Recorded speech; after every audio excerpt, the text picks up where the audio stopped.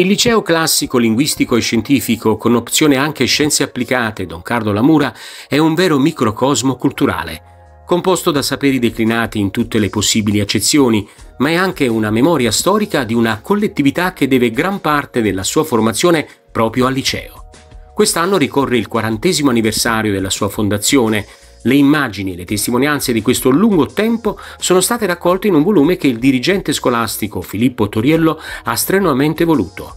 Questo è uno spazio di saperi che coglie ogni occasione per aggiornare la sua offerta formativa e culturale. Una nuova occasione di aggiornamento viene data dal Piano Nazionale di Ripresa e Resilienza. C'era da scegliere in che modo utilizzare anche questa possibilità, questa grande possibilità del PNRR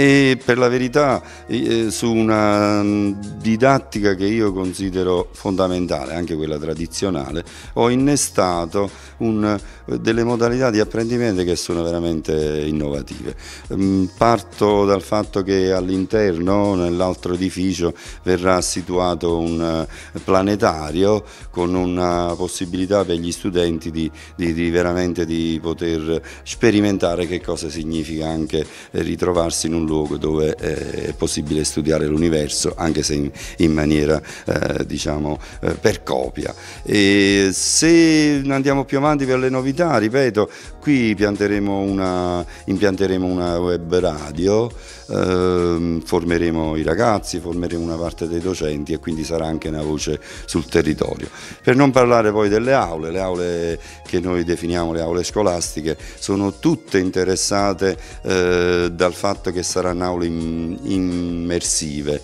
eh, in quello che oggi definiamo il metaverso con quelli che sono i visori fondamentali per ogni ragazzo, quindi ogni aula ce l'avrà e potranno sperimentare quello che viene definito il laboratorio virtuale eh, fino ad arrivare ad altre forme che, ripeto, forse in questo io sono pure meno competente rispetto alle nuove generazioni. Quindi un liceo che si copre di, di, di novità su un, eh, su un troncone e con delle radici tradizionali, non ho paura di dirlo, che sicuramente daranno la possibilità agli alunni di sperimentare sia il, la paidea classica, come si diceva un tempo, che la Bildung tedesca, che è la tecnica che, di cui oggi non possiamo fare a meno. Quindi degli spazi che sono spazi interni, ma che è un microcosmo, essendo un microcosmo significa che è collegato con l'esterno e interno ed esterno qui scompaiono, perché i ragazzi avranno l'opportunità di questa offerta formativa che credo non hanno, almeno nel territorio,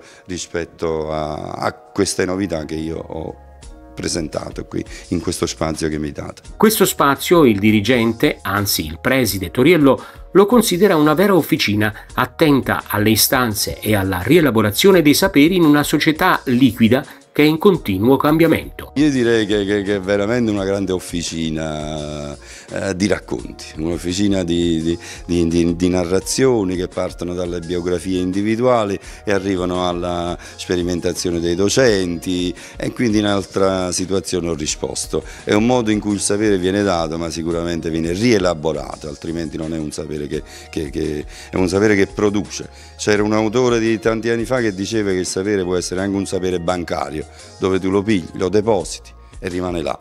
Eh, noi siamo per l'altro versante, quello di un sapere che viene dato e si sviluppa veramente attraverso una fucina e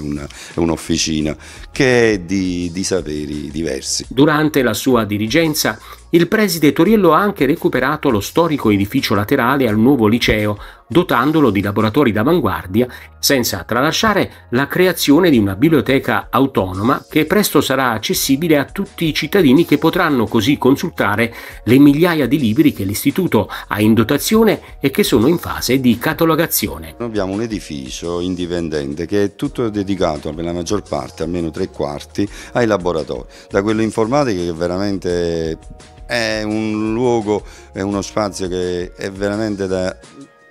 fondamentale per i ragazzi. Poi c'è il laboratorio di scienze biologiche eh, e per finire la biblioteca. Quest'anno anche se in maniera, non so, eh,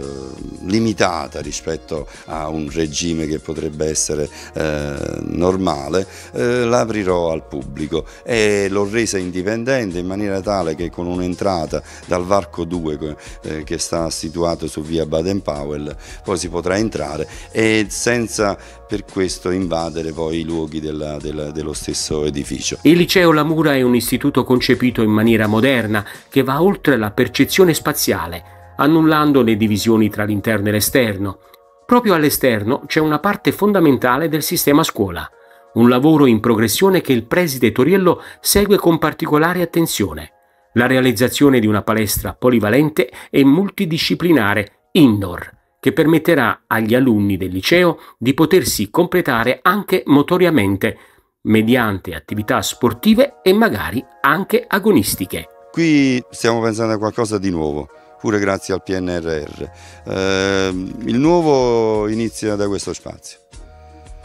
Questo che adesso vediamo eh, sarà ricoperto con una uh, struttura che gli, i tecnici della situazione mi definiscono tra la tensostruttura e la tendostruttura. Comunque sarà, sarà ricoperto e quindi i ragazzi potranno avere veramente quella possibilità di avere uno spazio per la palestra. L'altro spazio che se riusciamo uh, a vedere che subito dopo questo campetto invece sarà all'aperto ma sarà un altro campetto di pallavolo, di pallacanestro con eh, pavimentazione ad hoc per cui i ragazzi in questo spazio veramente finalmente dopo 40 anni il liceo avrà una, uno spazio dove i ragazzi